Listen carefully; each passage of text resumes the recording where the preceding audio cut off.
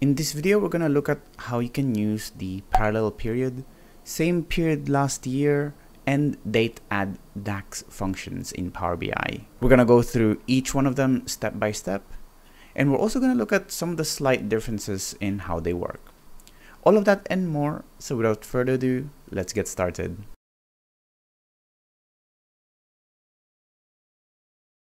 Hi, my name is Fernan, and welcome to the Solutions Abroad YouTube channel, where we cover tips, tricks, and best practices when working with Power BI.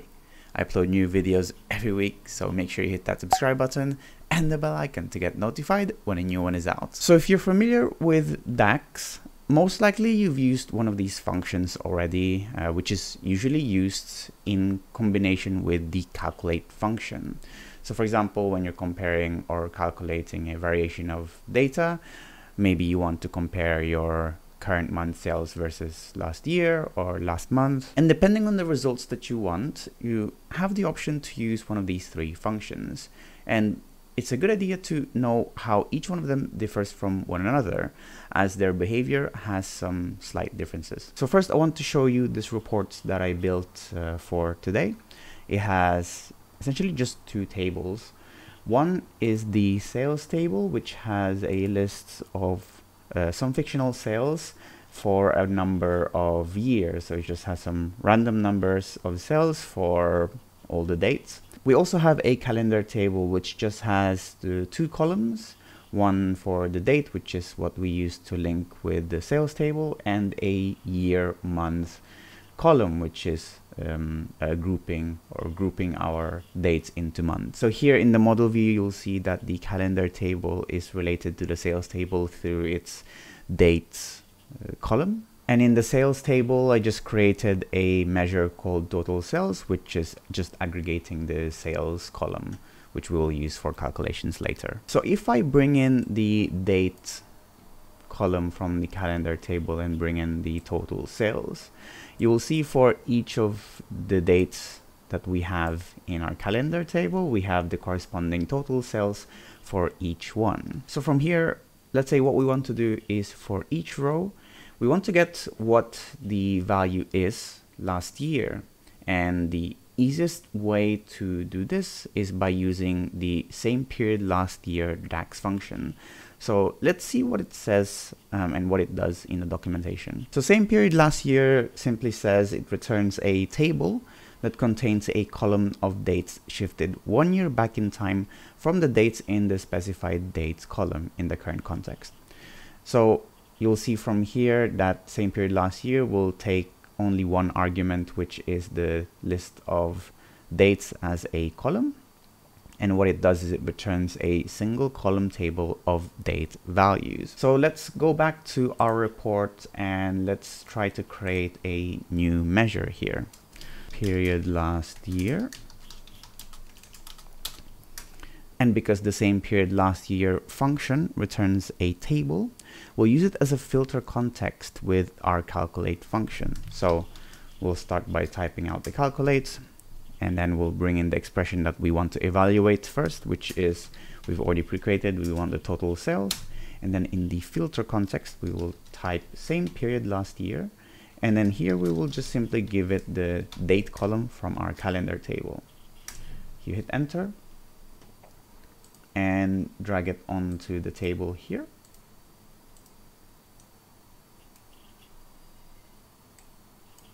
You'll notice that the values in uh, 1st of January 2019 is empty because that date is actually the earliest date of sales that we have on record, which means that same period last year in that world context means it's trying to look for sales that we had in the 1st of January 2018, which we don't have, which is why it's empty.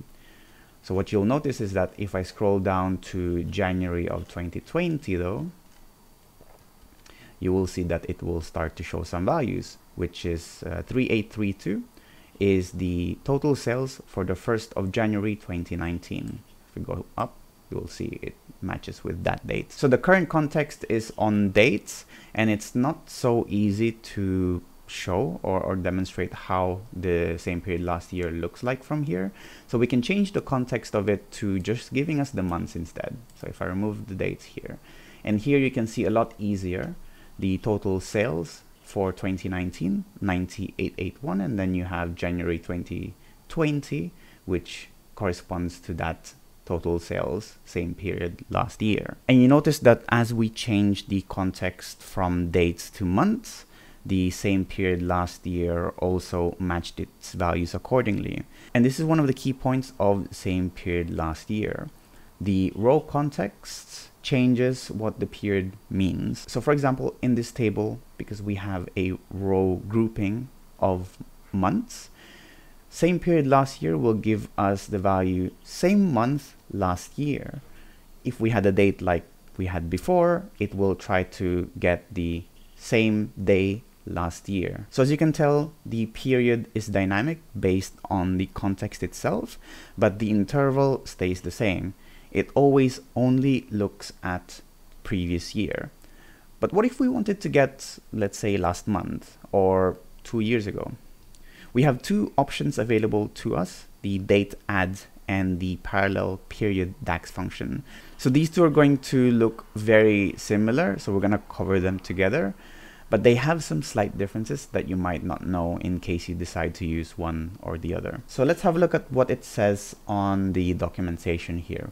So it says that parallel period returns a table that contains a column of dates that represent a period parallel to the dates in the specified dates column in the current context, with the dates shifted a number of intervals either forward in time or back in time. And you'll notice that both the syntax, it takes three parameters, which is the list of dates, number of intervals, and the type of interval. And this syntax, as well as the return value, looks very similar, almost the same as the date add function. So the main difference between these two functions and the same period last year is that you can change the period you're looking at. So for example, if you wanted to look at last month, you can change that uh, period to months instead. So let's have a go at writing this one.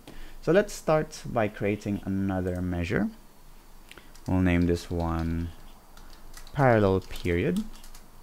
And again, because parallel period returns a table, we will use it as a filter context in our calculate measure. So total sales, parallel periods. It asks now for a column of dates, which we already have in the calendar. Number of intervals, we said that we wanted to look at the previous month. So we will do minus one, and then the interval would be month. Close that value. Drag that measure into our table here. And here you can see now that for each row, parallel period will always return the value of what it was last month. So 90881, 80656, which is what we expect. And to achieve the same result as the same period last year, we can modify the parallel period slightly, which is simply just changing this from minus 1 to minus 12, which is basically looking at the same period like 12 months ago. So you'll see that both the same period last year and parallel period now returns the exact same values. So with the parallel period and date add, you can change how far you look to the previous period or even to the future period. You also have control in terms of the intervals. So you can change it to looking into days, months, quarters, or years. Unlike same period last year though, because you define the intervals explicitly in the function, row context affects them a little bit differently. So for example, let's try to change the context of this table uh, from months and we'll put it back into dates. So obviously now we don't have any parallel period for 2019, but if I scroll down to 2020, you will see where the difference lies. So same period last year, as we explained, changes the context based on the row context. So in this case, it's checking what it was back in the 1st of January 2020. Parallel period, on the other hand, looks at the full month parallel period for January 2019. So instead of looking at the day like the 1st of January 2019, like same period last year does. It looks at the whole month's total. And it's probably easier if I drag in the year month here and I just drag in the sales so you can see what I mean. So 90881 is the total sales that have happened in January 2019, 12 months ago from the 1st of January 2020. And the reason why it's staying like that is because we defined that for parallel period, it should evaluate the whole period of that month, 12 months ago. So just to remind you how we wrote that uh, DAX, we're saying that give me total sales for the parallel period for the current date in context 12 months ago.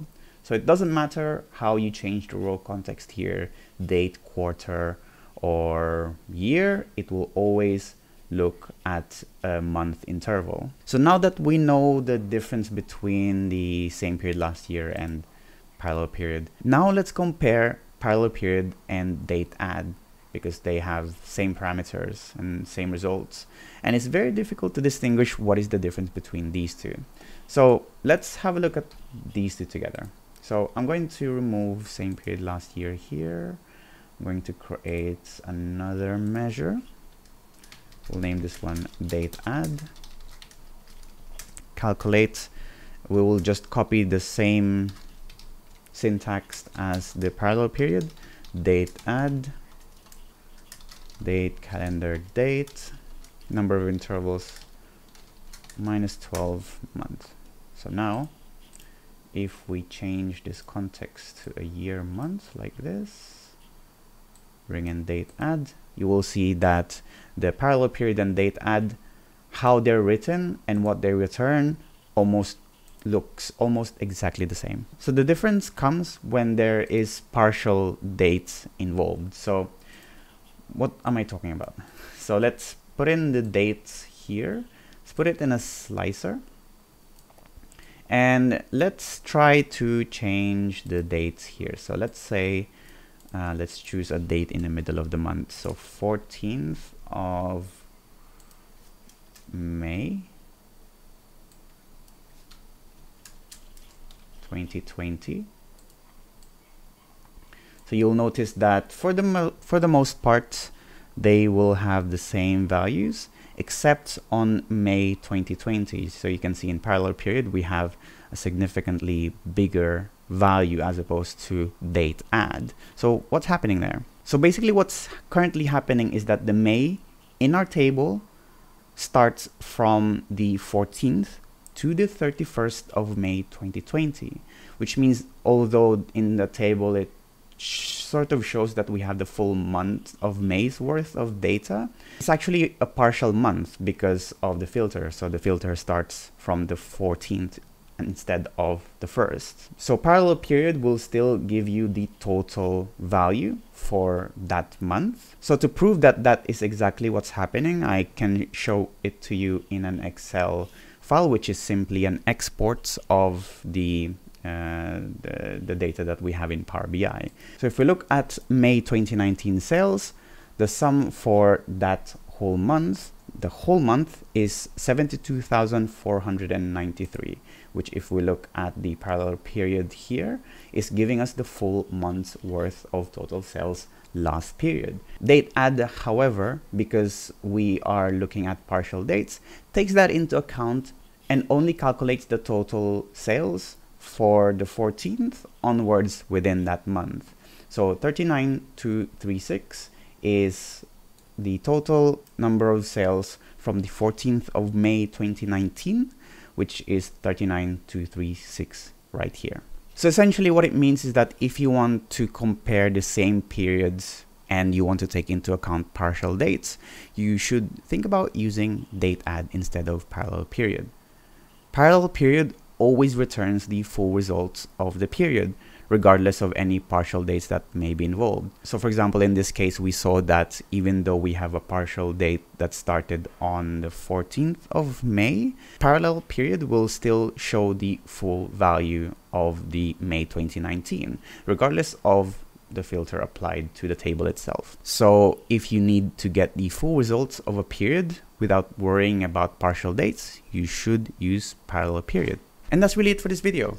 I hope you're now a little bit more familiar with the differences between these three DAX functions. Thanks for watching as usual. Give this video a like if you found it useful.